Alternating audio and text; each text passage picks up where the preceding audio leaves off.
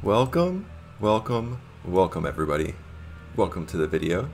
This is Dr. Heals here, joining you today. Glad to be here. Glad to be able to hopefully teach you guys something about carpentry. And I know what you're thinking. Dr. Heals, why are you on a whale? Well, you wouldn't be paying attention to me if I wasn't on a whale. So I want you to pay attention because it's going to be a super serious carpentry lesson. Not really. It's just going to be a bunch of beginner carpentry tips and tricks. If you're new to uh, carpentry, I'm just starting out, so I figured it'd be a good time to share a few things. And without further ado, let's get into the tips. Welcome back, ladies and gentlemen. I'm here now in New Gridania, and I have my carpenter set equipped. So now I'm going to take a look at this. I'm only level 12. I just started like a couple hours ago, and uh, yeah, so you know, when you first start out, your uh, guild, uh, the guild master will give you your first tool. So we can go on over to him. It's uh, Beatin, and we are in New show you the map here. Right here. I mean, you can't miss it. It's right across from the plaza. I mean, if you can't find this, like, I don't know. But anyway, so this guy will give you your first tool, and the tool is a saw. And so you equip that, you become the carpenter class. And most people probably know that, but I just wanted to explain that to some of the newer people. And then after doing a few of the first basic crafts, you get the uh, claw hammer, which is also which is your offhand, which um, helps with um, basically um, it gives you additional skills that you can use to craft better uh, items. So and the overlapping, uh, base I mean, no, that's not right. Yeah, I shouldn't be wearing a straw hat, but anyway the over some of these skills uh, overlap like control control overlaps with weaver. So now if you see if I equip my weaver class you can see I also have uh, control. Control is a relevant stat and so is uh, craftsmanship. So you can see that these stats um, overlap. So if you level up one crafter you can use the same armor uh, somewhat. I mean, there are some specific items, but you can use the same armor to level up your next crafter, which is really useful because then you can just equip the, the gear that you have already. But anyway, that's enough about that. Let's talk about um, leveling up. So the way I've been leveling up this crafter is by, um, I think this is a really good way to level when you're new, and that is to check out, so check out the crafting log, and you see that there's like a bunch of like pretty so there's like the one to five recipes. And you can see I made like most of these things except for like a couple. And the reason I want to do this is because you want to um, you get bonus experience for crafting something for the first time. So if I go ahead and I make this ragstone grinding wheel which I already found the ingredients for if I go ahead and do a synthesis or synthesize and I just go ahead and make this. I'll just do the basic synthesis for now. So I'll just, and the basic synthesis just improves your progress. It's pretty basic, it's pretty self-explanatory. These improve your, your uh, the touches improve your quality, and I'm not really going for quality. And so you see I got 3420 experience right there, and that was the bonus for crafting it for the first time. And so you get that bonus for all of these different things. So that's a really great uh, way to level up when you're beginning. So now what you might also notice is that in the crafting log, here we go, is that some of these require some like additional ingredients. So you have your lumber, and then you have your uh, like uh, these are bronze rivets, so you have an additional material, or you have like bronze ingots or spoiled femur, crow's feather, all these like different miscellaneous things. And so initially a mistake I made was that I figured I would just okay, I need ash lumber well, I already leveled up my uh, botanist to level 53, so I figured, oh, I'll just look in the gathering log, and I'll just go, oh, ash logs, they're in uh, green tier, and so I went out there and I gathered some, but that was a newbie mistake because you can just, if you have some money, and like, it all, you want to be and that's I think that's a good second tip is that you want to be as cost effective as possible. Like compared to how much money you have. Like I have 239,000 gil right now. I just sold some things in the marketplace, so I have a little bit of money to like put into the skill. So what you can do is you can just go to your guild supplier, and for carpentry, you want to go. You can go to your carpentry guild, and you can go right in here to this boy. What's his name? Variol. Yeah. You talk to him, and he has ash logs, and he has like all these lower level like the miscellaneous stuff that you need for um, all these lower level recipes. So you can see right here, like soiled femur, crow feather. Like he sells these things. He sells soiled femur. Um, he doesn't have the crow feather, but that's fine because in conjunction with this, you want to also go to the Leather Workers Guild. And so I'm just going to sprint on over here, go on over to the Aetheryte, and we are going to use Aethernet, go to Leather Workers Guild. And you want to use the Leather Workers Guild um, supplier in conjunction with the carpentry supplier. So I'm just gonna run on over here. And I I didn't know you could do this, so like I made the mistake. Like so you'll see right here with the uh, I'll show you. Oh yeah, the ragstone grinding wheel. I already bought this ragstone on the marketplace, and I'll show you that as an example really quick. So I go on in here, and I can talk to the uh, Oskith. Wow, they're making this really easy for me. The guild supplier. and you can see he sells uh, the other stuff. Here. So he already sells maple lumber and ash lumber. So you don't even have to like make it on the lower levels, which is crazy in my opinion. But um, yeah, and then he has the bone chips and uh, a bunch of other ingredients that you'll need for crafting. So that's super super useful to know. So what I suggest any new players do is to just buy as many of these materials as you can. Buy the new materials, open up your log, and then I already went through and I bought some from the different suppliers, and now I can make all these different things. So, ash spinning wheel, no problem. Just pull it out, do basic synthesis. You don't even have to do the high quality synthesis. You get bonus experience. Ooh, I had an excellent there. Okay, that's that's fine. I didn't see the excellent proc. I would have maybe gone for it, but uh, yeah. So you see, I made the the basic one and the no quality, and so you get the bonus experience every time you make it, even if it's no quality. So I'll make this uh, amateur's fishing rod. Go ahead and synthesize that up real quick. And I'm just doing this to prove the point. Oh my god. I'm just doing this to prove a point that you can uh, you can make these base level items and still get a lot of experience for it. So that's all I wanted to demonstrate right there. Um, oh yeah, I can't leave that way.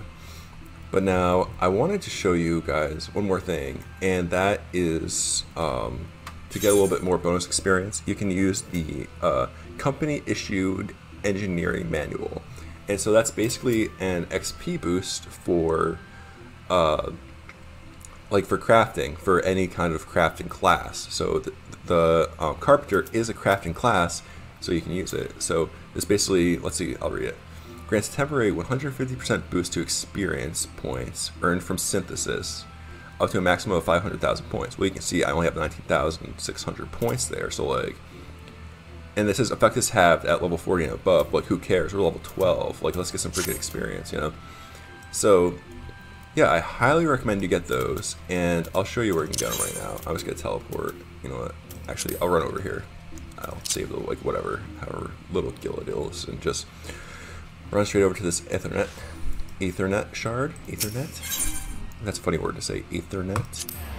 And yeah, so I'm gonna roll around over here, and I'm gonna head on over to my uh, grand company. So now basically, if you don't know this, you can, um, at a certain point after the main story quest, you gain access to a grand company, and you basically like pick one. And like spoiler alert, but I mean, I think most people know that. So you can run right over here and go to the where are we? Serpent Personnel Officer. Serpent Personnel Officer. And you can oh well you can undertake supply and provisioning missions, which are awesome. But um, actually, I want to talk to the Serpent Quartermaster right now because he's the one that sells the uh, engineering manual.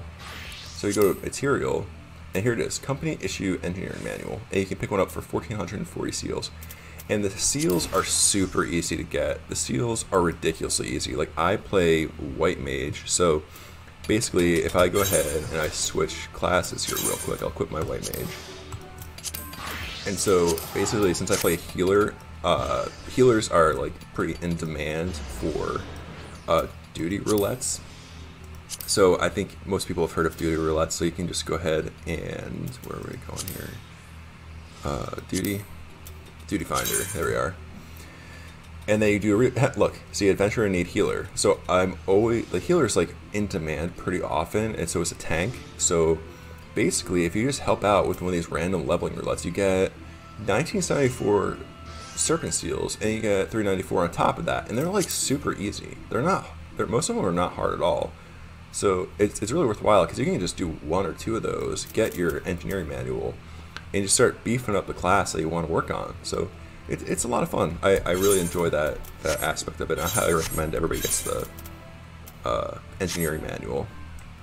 And so I'll go ahead and go right back to Carpenter here. And so I'll use the engineering manual. Use that. You can see, you'll know it's active because you can see the little uh, icon right here, Crafter's Grace. So increases experience points gains as a disciple of the hand, which is great. So now if I make something, let me just make a feathered harpoon. Sure. I'll make that. I'll keep my eye on it this time though, in case it goes excellent. I will attempt a touch. Normal, normal. Oh yeah, we got a level up So yeah, that was lot actually. Okay, we got a new skill. So basically, as you level up, you get these uh, different skills, and uh, they're pretty uh, similar to like across all crafting classes. Like it's kind of overwhelming at first because you have all these different uh, actions, but they're it's like the same kind of game along crafting classes where they'll all be uh, the same kind of skill. So it's it's like a game, and once you learn it, you can do it across all the different crafting classes, which is really good to know because if you master one, you can master them all basically, which is really nice. So yeah, that's we got a level up there, and I'll just maybe I'll make like one more thing. I'll make this. And so that's a good proof of concept. And oh, excellent. So now I got excellent proc. Maybe I'll go ahead and go for a, a touch here. Yeah, and that got us uh, 208. So you get basically get a uh, boost to quality depending on the condition. So might as well go for, you know, 7% isn't great, but, you know, it's better than nothing. And basically the last, there's two more things you can do uh, to level up. And I'll, I'll, show you this one right here. And that is you can do, undertake uh, supply and provisioning quests or missions. So you, you click on this. And so for supply, oh, an ash spinning wheel. Oh, great. I just actually made one of those. So you'll accidentally make stuff and then I can just turn this in. So I go ahead, hand it over, deliver, got seals, and got level.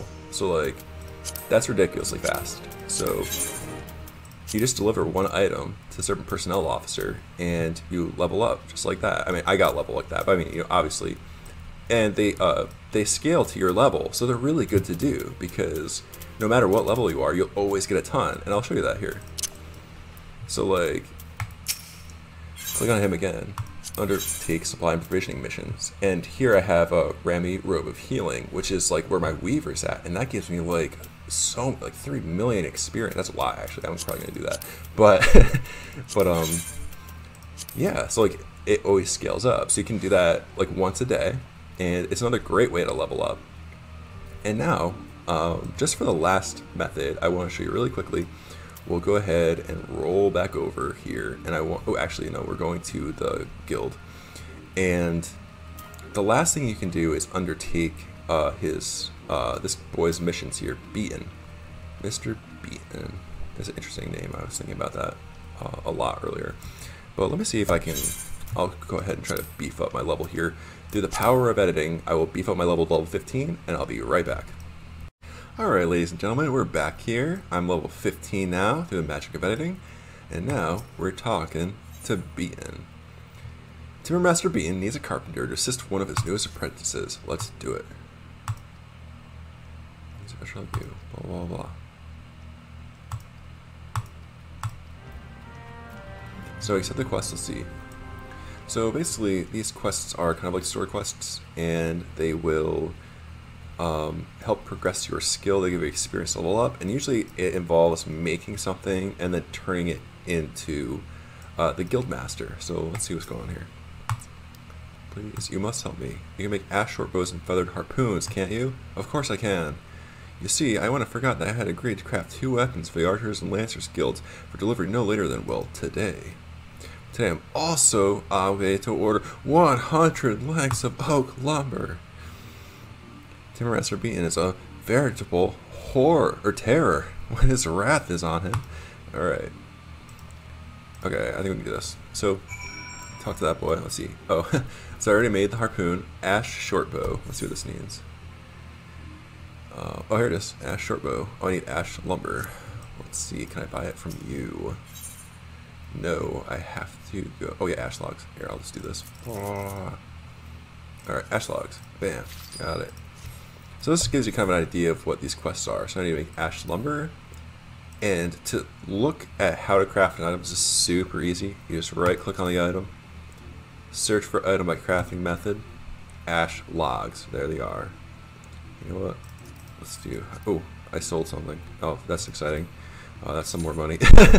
well, let's see. All right, so we're gonna make these ash lumber. So I'll go ahead. Let's see how many touch it, or how much I'll take this. That's one. Yeah, one. So yeah, I could have touched it a little bit there, but uh, yeah, we made the uh, ash lumber. So now we are going to go back and we are going to make the bow. And it is an, an ash short bow. You can see your objectives right here. Ash short bow, synthesize. And I'm just to go for regular quality because like doesn't, oops. I hit the wrong key there. no, we're to try and uh, go ahead and progress this to finish. So we did a couple touches. One more, good condition. Could have gone for it, that's fine. Yeah, these items are such a low level, I just like have a hard time caring about their quality. So I'm gonna roll back over here. Oh, let's see. Oh no, we're gonna go to. Oh, we have to actually deliver it to the people. Okay. Where are they? Okay. Okay, they're in Old Gridania. Alright, well, through the power of editing, I will deliver these items, and I will come right back. Alrighty, ladies and gents, I just completed the second delivery. Uh, so yeah, this mission's a little bit different. It has you bring the items to two people. That's fine.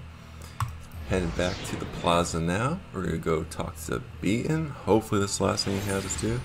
Because I want to show you guys what kind of experience you can get from this. So roll on over there. Head on to the guild.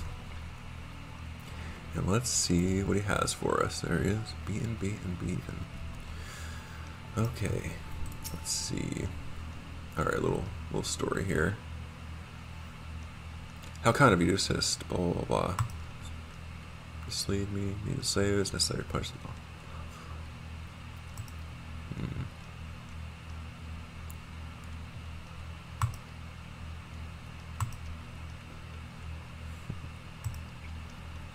Oh, the test of character. Okay, that's kind of a twist. Yeah. Very nice. Try to see if you're a good person.